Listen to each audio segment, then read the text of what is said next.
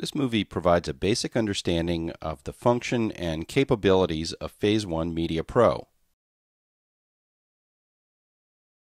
Media Pro is catalog software that helps you organize and manage a large photographic archive or an archive that includes other kinds of media such as movies, audios, text documents, layout, presentation, and more. The first thing to understand is that all the work you do to organize your pictures resides in a catalog document, not in the files themselves. This catalog document, like the one we have here, is one that can be moved from one computer to the other so that even if that second computer isn't currently connected to the set of files, it can still know everything about your collection. Let's open up this catalog and see the kind of information that we get. As you can see, we have a set of thumbnails that's on the right hand side of the window, and then we have a set of categories over here on the left. Down at the very bottom, we have this thing called catalog folders, and what that is is a representation of the file system itself. And I can click through any of these folders and look at any images that happen to be in these folders. Now, one of the things you'll notice, of course, is that there are these red question marks, and that means that these images uh, can't be found. This folder can't be found, and in fact, if we look all the way up to the drive itself, the drive itself can't be found either. Now, that's okay because we know that this drive isn't currently connected to the computer, but one thing that this does illustrate that's very important is that the catalog structure gives you the ability to look through, browse, and organize your pictures even if you aren't connected to the pictures. Let's connect up the drive and see what we get at that point. Once the hard drive is connected, when we go back into Media Pro, we can see that all the question marks have disappeared. Browsing through folders is a useful way to find pictures, but it's not necessarily the best way to find pictures because the pictures you may be looking for may be widely scattered. Let's look at some of the what they call catalog fields, these groups of metadata tags that we can use to find pictures that we're looking for at any given time. So here in the date finder, we can browse by date, and I can open up to any particular day and click on that day, and all of the pictures that were shot that day, if they've been cataloged, are now available to me. We can also look for files according to file type or according to which camera shot the pictures. So all of that work that we've just seen are tags that are put into the picture as soon as the picture is shot, so we didn't even have to do any work to get those tags there.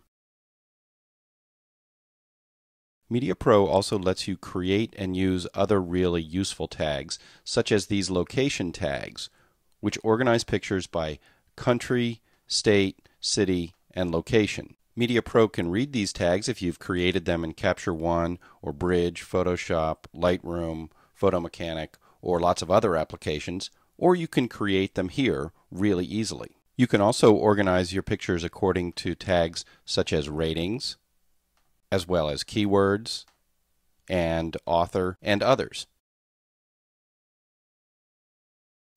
You can also cross-reference tags. So for instance, if I'm looking for the best pictures from Iceland, I can select Iceland and hold down the Command key or the Control key on PC and cross-reference that with four stars, which is my highest rating in this catalog, and I come up with just the five images that have been rated as four-star pictures that came from Iceland. If I want to continue that search through more images, I can add the three-star images to the group and the two star images and the one star images and so on. The Catalog Sets panel is the most capable and flexible place within the program to do lots of organization. You could set this up however you want, and you can build a hierarchy that suits the needs of your collection. For instance, I have uh, all of my commissioned work within this one very large set called Jobs, anytime I do an assignment for a client, I make a subset for that client. And then I can put the different jobs I do for that client within that group as well. So if I do multiple jobs for the same company, they can all be organized this way. Now this looks like a set of folders, but it's not. The images are living in the folders wherever the folders happen to be. They may be on different drives, but I can bring them together here in these virtual sets.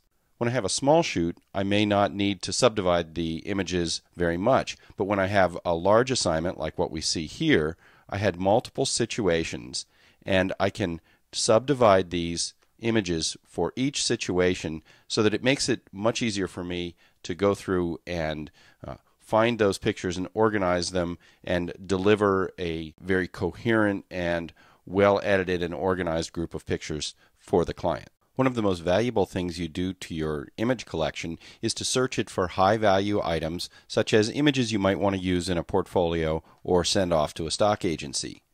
By doing those searches here within the Media Pro catalog, you can save that work and you can revisit it later. For instance, I have earlier searches that I've done here, and I've just created catalog sets for those. And when I just the other day went through and looked for images I might want to add to my portfolio, then I was able to name this group for the search that I was doing and subdivide it according to the type of work.